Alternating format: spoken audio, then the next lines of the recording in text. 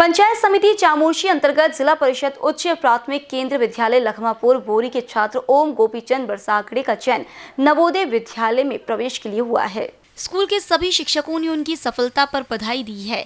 छात्र ने अपनी सफलता का श्रेय अपने कक्षा शिक्षक देवानंद घोड़मारे और स्कूल के S N I grade head Damodar Nimbekar Ravindra Wasekar कार्यवाहक प्रमुख गुरुदास सोमणकर, विशेष शिक्षक गमेश्वर बड़खल, छठवे शिक्षक रोहित दास कुंगड़कर, फिरोज पठान, चंदू गेदाम और छठी शिक्षक अस्मितो दिरवाड़े, स्मिता मस्के मैडम को संदेश दिया गया। इस सफलता के लिए गाँव मोहल्ले और दोस्तों द्वारा उनकी सराहना की जा रही है। उनकी सफलता जिला स्कूल और अन्य सभी छात्रों के लिए एक प्रेरणा है।